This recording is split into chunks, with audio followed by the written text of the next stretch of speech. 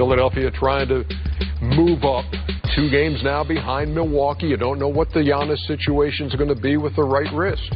Yeah, I, I think you know him coming to All Star Weekend, Giannis lets me know that the, the injury isn't that serious.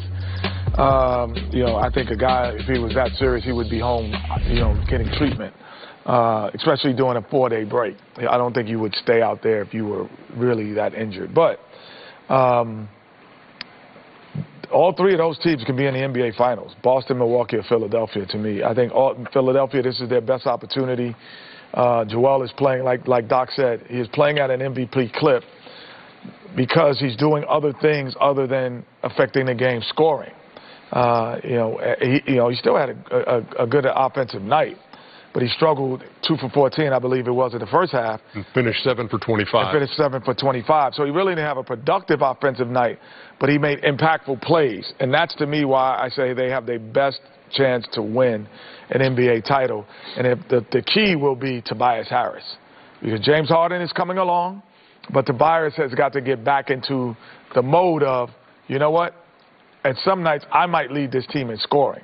And that they're going to need that throughout the rest of the season, especially when the playoffs start. Tyrese Maxey's been, uh, you know, been put on the bench, you know, coming off the bench yeah. in that role, and he's and he's Flourished. continues to flourish. Well, Joel was, even though he was struggling offensively, he was great tonight. But it's really he has to play like that every night. He, to me, he's the one guy because when you Milwaukee, Giannis has to play great every night for them to win. Joel has to play great for the Sixers to win. They even have a chance against those other two teams. Boston's the one who has the huge advantage because they have two nuclear weapons between Jaylen and Jayson. Uh, they're probably the deepest team out of the three, the Celtics. But Joel, to me, is the most unguardable player in the NBA. But he's going to have to dominate. He's going to have to dominate if they're going to beat Milwaukee or Boston because he is the most unguardable player in the NBA. Even though Joker gets all the assists and everything, this dude going he gonna wreck you. What do you think was the change between Boston? I know we I know got 30. What was the change? At one time you're like Jayson and and and and, and, and Jaylen couldn't play together. Well, now I think they are. What do you think the change is for you? Because I always well I, I think that when you play with other great players, you have to say, I'm gonna get less shots, but it's gonna help the team. Instead of getting 25 shots, I'm going to get 20. And then some nights, I'm going to get my 25 when I got it going.